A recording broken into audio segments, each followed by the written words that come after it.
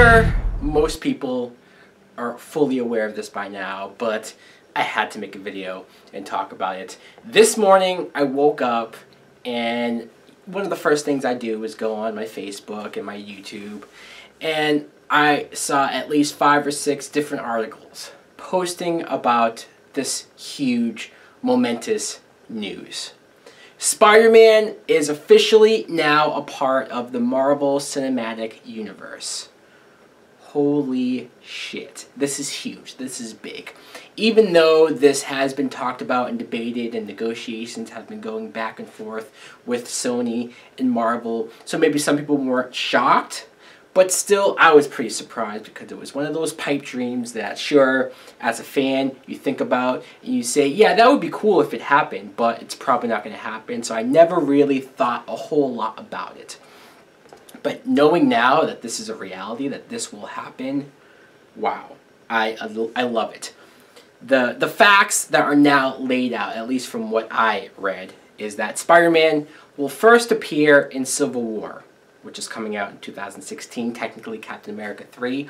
And this is exciting. I'm assuming he's not going to be a huge, major part of the movie, uh, whether it's just a teaser, uh, shows up for a second, one scene, or if it is just an after credits thing.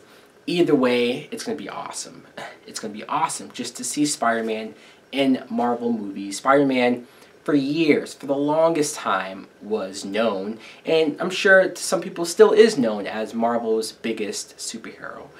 I, I've debated with my friends over the more recent years whether or not Spider-Man is still Marvel's number one hero, if Iron Man has now overtaken that with his huge popularity. But whether that's true or not, whether Spider-Man has actually maybe fallen a little bit as far as popularity, thanks to Sony, I think that all changes now.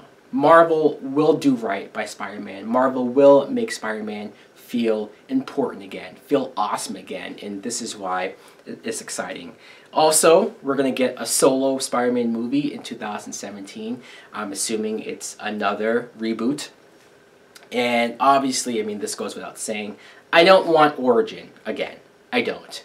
And I'm pretty sure Marvel won't do that. I'm sure Marvel knows by this point that we're sick of the origin. We've seen it two times in 10 years. That's ridiculous. So I think they're going to do right by the fans and they're going to have him as Spider-Man at the very beginning. You can do flashbacks, you can do moments of talking about the origin or Uncle Ben and stuff, but I don't want to see it all play out. This also means that Andrew Garfield is gone. He's out. It's official. I mean, it's and some people will like that.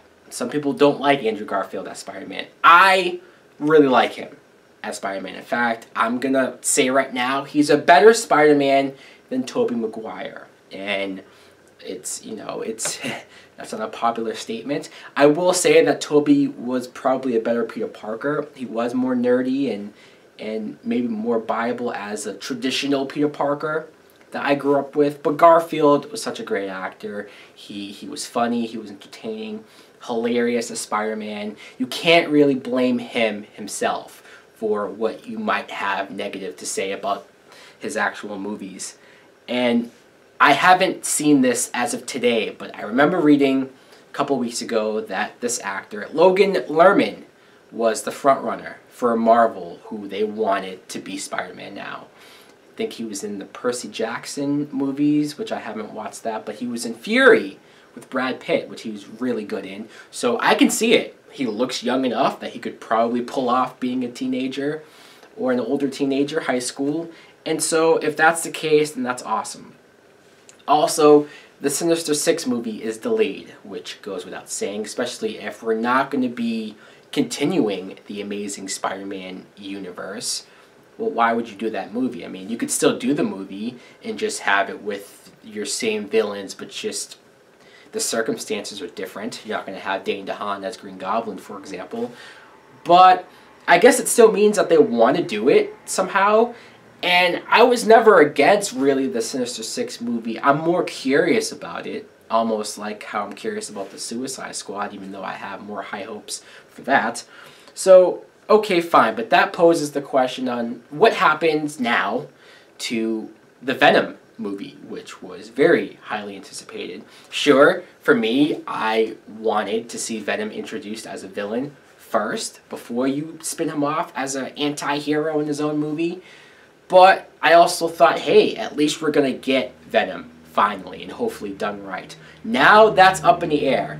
And that's probably one of the few things that might suck if they do scrap the Venom movie because how many times has the Venom movie been scrapped and start back on and then scrapped again? They were supposed to be a female uh, character in the Spider-Man universe getting her own movie. People assumed it was Black Cat. I don't know. I would have been into that, but if we don't get that movie, I'm not really heartbroken over it. I want to take a second and mention the fact that the Amazing Spider-Man movie universe is done. It's over. We only got the two movies. They clearly were setting up for a lot more to happen with that franchise. And in some ways, that sucks. I mean, I'm not crying over it. I'm not depressed over it. I am excited to see where we go now, but it just it sucks because some of the things I loved about those movies, they're not perfect, but I loved certain things about it. The Gwen Stacy and Peter relationship, Emma Stone was amazing, and we just came off of killing her.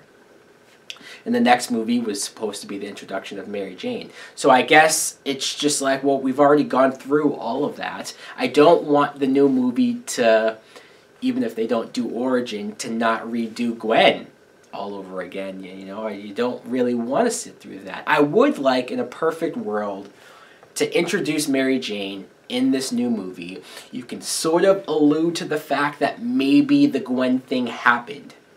Almost like Batman Forever. How Batman Forever is kind of sort of a sequel to Batman 89 and Batman Returns, but it's not.